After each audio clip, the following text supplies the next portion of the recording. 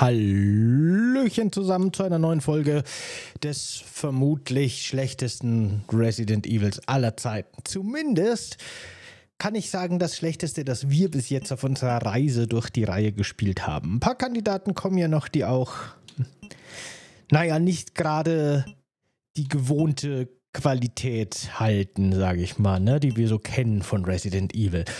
Versuchen wir jetzt mal den Ranking Mode. Ich habe keine Ahnung, was der macht. Das schauen wir uns jetzt mal auf jeden Fall an. Okay, Arcade, Glock Tower oder Underground oder versus Roach Mode. Hier sind alle Modis irgendwie nochmal, aber im... Hä? Warum ist denn... Ach so. Im Ranking Mode können wir uns das Ranking anschauen. Sehr gut. Wie komme ich hier wieder raus? Okay. Gut, haben wir den Modus auch durchgespielt. Perfekt. Jetzt ist halt wirklich die Frage, die zwei Stunden, die wir das Spiel spielen müssen, damit wir mehr Continues kriegen. Darf ich auch den Dungeon-Modus spielen? Oder zählt das nur für den Arcade-Modus? Weil zwei Stunden Arcade-Modus spielen ist eine ordentliche Ansage, ehrlich gesagt. Wenn wir auch einfach den Dungeon-Modus spielen könnten, ne? Der ist halt stinklangweilig, der Dungeon-Modus. Aber wenigstens. Aber wenigstens. Oh Gott. Nee, vergiss es. Guckt mal, hier, Clock Tower. Ich verstehe, das ist die gleiche Map wie vorher. Das gleiche Labyrinth mit Fallen. Super nerviger Schlauch, verschlungen. Keine Minimap, man kennt sich nicht aus. Und im ersten hieß es, eliminiere den Boss. Das war easy, okay. Und jetzt heißt es, sammel alle Juwelen im Haus. Oh Gott, dann muss man wie bescheuert. Ja, machen wir jetzt mal. Also ich glaube, den Dungeon-Modus werden wir wahrscheinlich jetzt aber mal wirklich nicht komplett durchspielen, weil das ergibt für mich überhaupt keinen Sinn. Ich sag's euch, wie es ist.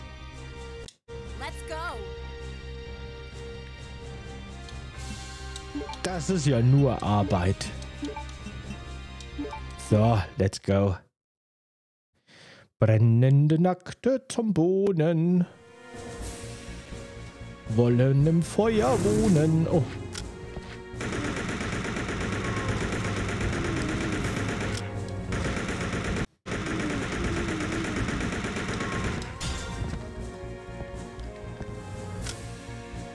Nicht die Magnum? Genau, die nehmen wir. Handgun. So, ich muss jetzt echt mich umgucken, wo überall Türen sind und muss versuchen, irgendwie mir zu merken, wo wir schon waren und wo noch nicht. Das wird alles andere als leicht. Also für mich, ne? Es gibt Menschen, die haben besseren Orientierungssinn, aber ich gehöre nicht dazu. Ui, ist der schnell. Da hole ich mal die Pumpgun raus.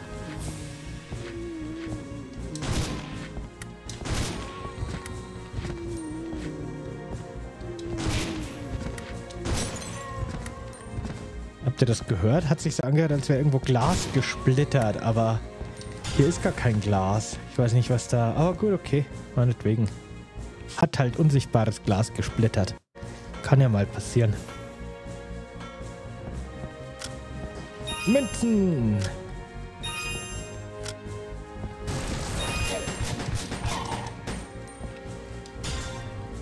Es ist einfach wirklich exakt das gleiche Level. Das heißt, am Anfang ist alles schön linear und so, aber hinten raus wird es dann richtig arschig, ey. Oh Gott.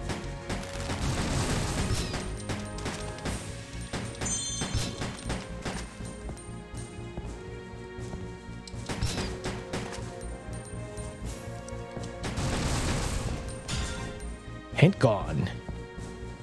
Shotgun. Noch mehr Handgun. Ich habe bisher noch keinen einzigen Juwelen gefunden, verdammt.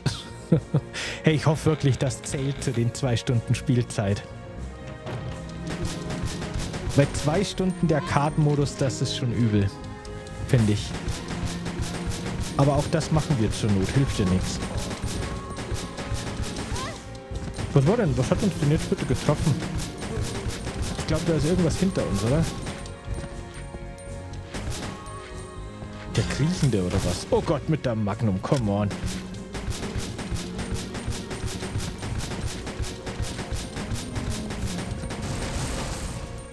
Ich habe aber ehrlich gesagt das Gefühl, wir haben so viel Munition. Ah, guckt mal. Oh. Kann man die zerschießen? Die sehen so zerschießbar aus, ne? Aber sieht nicht so aus. Na gut, okay. Wenn man eine Minimap hätte. Man hat einen Kompass, okay, aber pff, Gottes Willen. Ist das wirklich... Äh, ich meine, das heißt Dungeon-Modus, ne? Vielleicht erwarten die, dass man hier wirklich mit Zettel und Stift am besten sitzt und das kartografiert das Ding. Wo kamen die denn her? Schön, dass die so nett an mir vorbeigelaufen sind.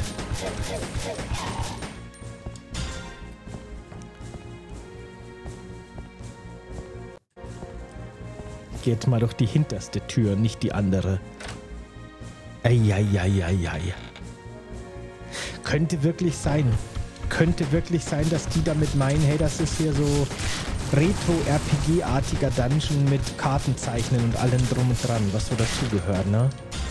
Könnte ich mir tatsächlich vorstellen, dass die das so gemeint haben. Oh. Ah.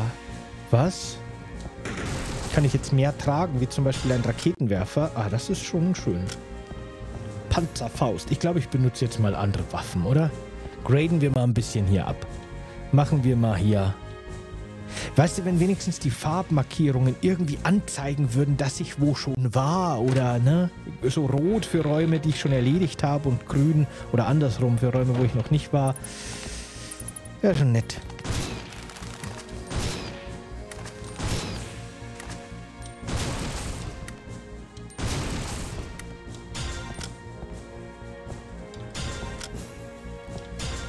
Auf jeden Fall gehe ich jetzt mal noch nicht die Leiter nach unten. Weil wenn das wirklich so klassisch, ganz klassisch stanzenmäßig aufgebaut ist, dann würde das auf jeden Fall bedeuten, dass quasi neue Ebenen, neue Stockwerke sind, wenn ihr versteht, was ich meine. Also quasi so Level, Level im Dungeon, so quasi. Versteht ihr, was ich meine? Ich glaube schon. Ebenen halt. Und dann schauen wir uns erstmal auf der Ebene fertig um. Und schon haben wir unseren ersten Juwel. Schau dir das mal nicht an. Nicht die Magnum. nicht die Mama. Naja. Haben wir halt eine Lampe mit der Magnum zerschlossen. Zerschlossen. Zerschlissen. Ich nehme jetzt mal einfach... Ich Assault Rifle uns jetzt mal hier durch. Durch den Dungeon.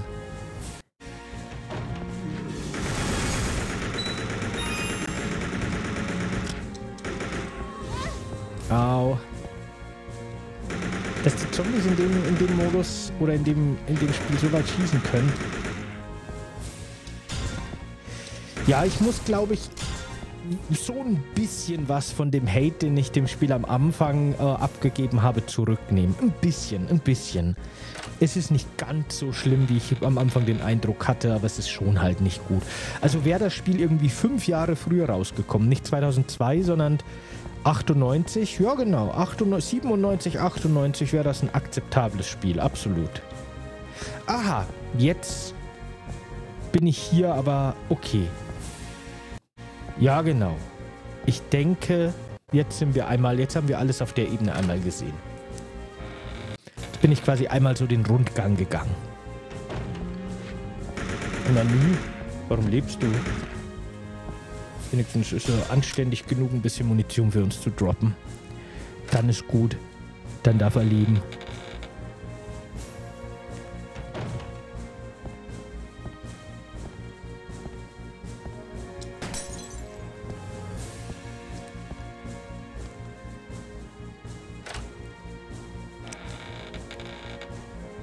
Vielleicht ist das im Speziellen auch ein bisschen Geschmackssache, ne? Das will ich überhaupt nicht leugnen.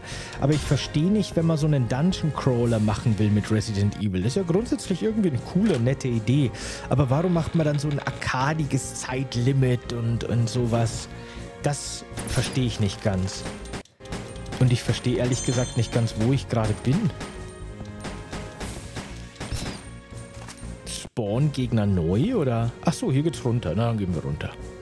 Anscheinend spawnen Gegner neu beim Erkunden. Das ist auch gut zu wissen.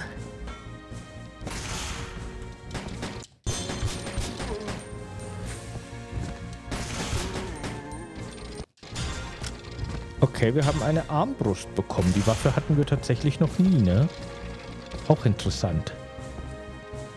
Dann lassen wir uns mal nicht zerquetschen. Und testen mal unseren... Ich frage mich, ob der Sprengpfeile hat. Weil wenn nicht, dann ist er eventuell nutzlos. Aber wenn, dann kann halt einfach der Raketenwerfer heimgehen, ne?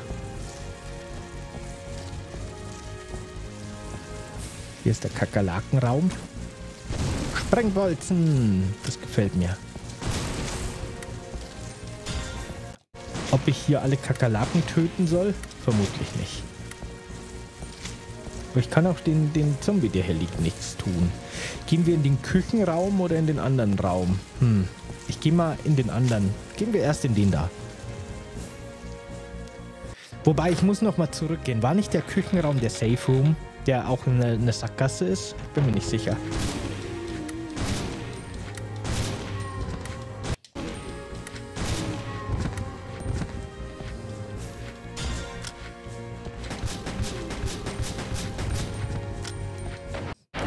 Ich habe den Raketenwerfer benutzt. Ist aber gar nicht schlimm, weil dann kann ich jetzt den anderen Raketenwerfer mitnehmen. es wäre halt gut, wenn ich den Schuss nicht wieder komplett verschwendet hätte. Wie beim letzten Mal auch für eine Fledermaus, die ich nicht mehr getroffen habe. Aber hey, ist schon okay.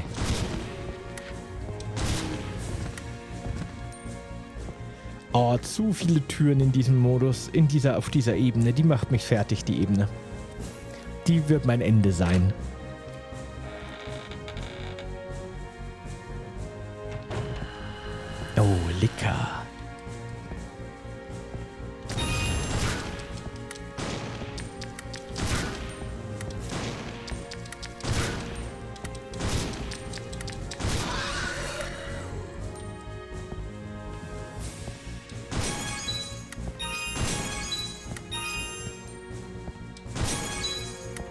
Weiß nicht mal, was die Münzen machen. Das ist wahrscheinlich nur für die Highscore.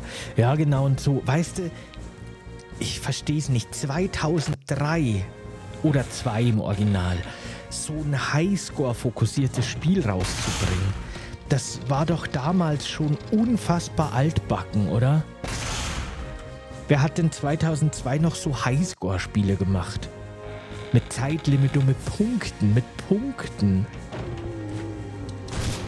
Das Spiel fühlt sich einfach wirklich mindestens fünf Jahre zu spät erschienen an es würde für mich irgendwie so chronologisch viel mehr Sinn machen, wenn Survivor 1 und 2 vertauscht wären tatsächlich. wenn das Konzept von Survivor 1 ähm, 2000, äh, äh, ja, 2003 dann erschienen wäre und das Konzept von Survivor 2 irgendwie 2000 wird für mich mehr Sinn machen. Naja, ich finde keine Edelsteine. Und wir sollen alle finden in dem Haus. Das ist ja verrückt. Ich habe keine Ahnung, wo wir schon waren und wo noch nicht und was überhaupt los ist. Hey, Edelstein. Nein!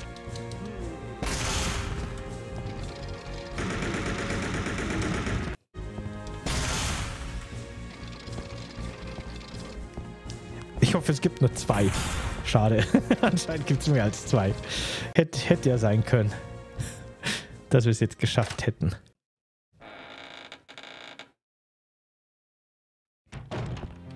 Ah, hier ist der Safe Room. Ups.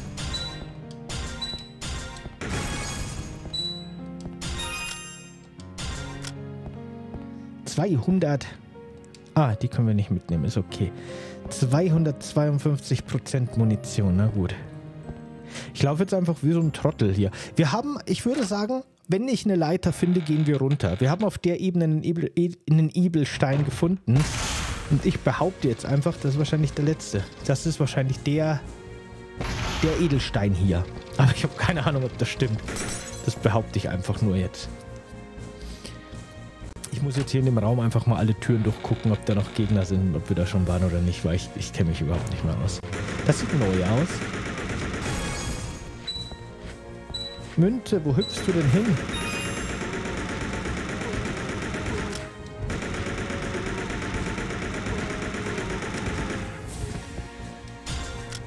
Komm, ich habe 92 Schuss Magnum.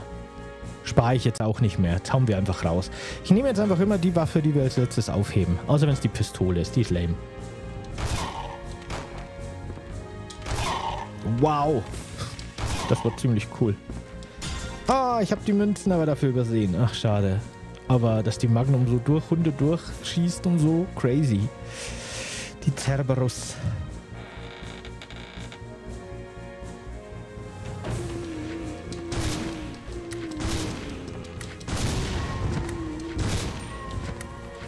Wer ist denn da schon wieder explodiert? Manchmal explodieren Zombies ein bisschen random, habe ich das Gefühl, oder? Warum? Aber okay. Passt schon.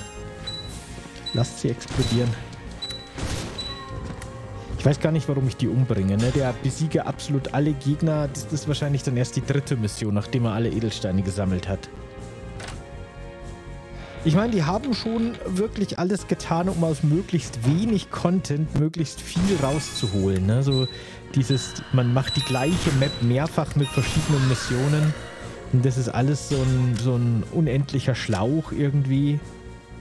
Ja. Naja.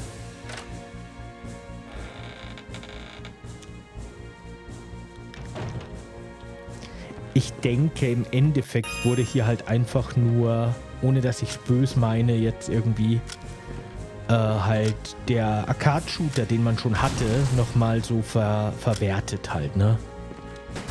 Die hatten halt den Arcade-Shooter und haben sich gedacht, hey komm, lass uns das irgendwie nochmal für die Konsole rausbringen, so.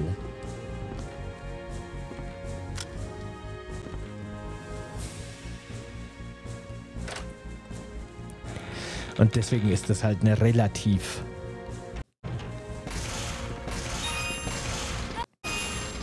Oh Gott, wurde ich gerade von sowas zerquetscht? Anscheinend. Deswegen ist das wahrscheinlich eine relativ äh, einfache Versoftung. Ja. Denke ich. Jetzt erstmal da rein.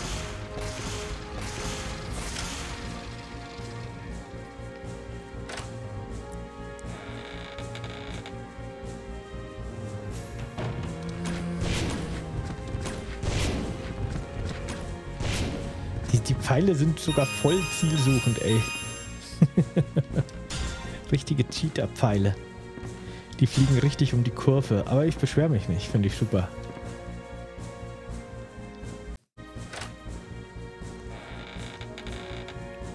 Wisst ihr, ich kann es mir sogar vorstellen. Ich kann mir sogar vorstellen, ich habe jetzt alle, alle Teile, die ihr davon bis jetzt gesehen habt, so ziemlich am Stück aufgenommen. Das heißt, ich konnte die Kommentare noch nicht lesen, aber ich kann mir vorstellen, dass einige Leute dabei waren, die geschrieben haben, also ich habe das damals geliebt, bla bla bla, so, ne? Und ich kann mir sogar absolut vorstellen, dass wenn man ein bisschen jünger ist vielleicht, ne, und dann kriegt man das Spiel und dann hat man da diesen Dungeon-Modus und dann hat man die verschiedenen Ziele und irgendwie ist es schon so abenteuerlich und druckerzeugend. Ich kann mir schon vorstellen, dass man damit Spaß haben kann. Objektiv ist es halt echt nicht so das gute Spiel, ne? Würde ich schon sagen.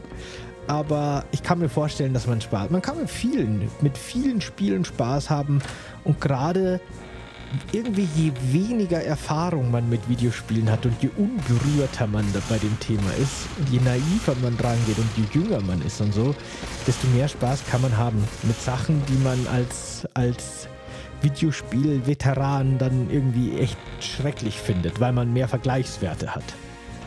Das ist eigentlich fast schade, wie diese Unschuld verloren geht. Können wir vielleicht die Spinne treffen? Chill.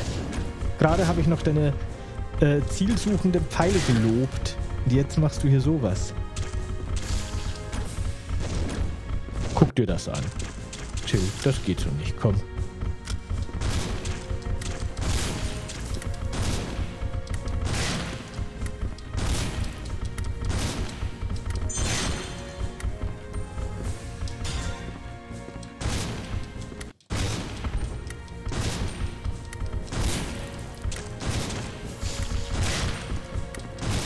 Güte, ist das hier ein, eine Spinnokalypse. So, ich gehe jetzt mal in den letzten Raum hier. Keine Ahnung. Okay, Bossraum.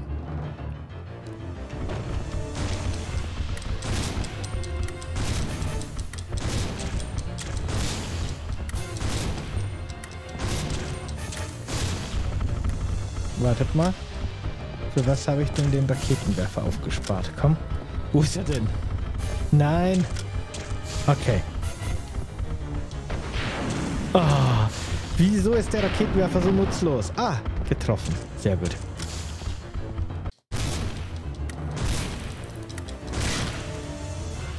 Moment mal, jetzt ist es vorbei oder was? Aber ich habe gar nicht alle Juwelen. Ich dachte, ich muss alle Juwelen sammeln. Ich weiß nicht, ob ich alle Juwelen habe. Ich hätte nicht gedacht, dass sie jetzt vorbei ist nach dem Bosskampf.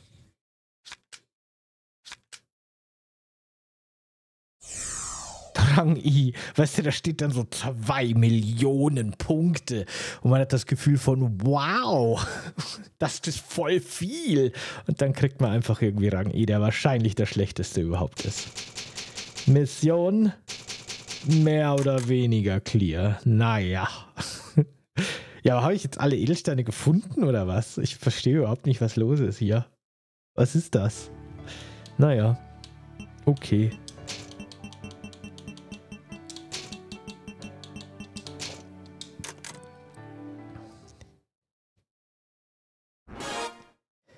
150% Rifle-Munition. Clock Tower Mission 3 ist jetzt spielable. Spielable.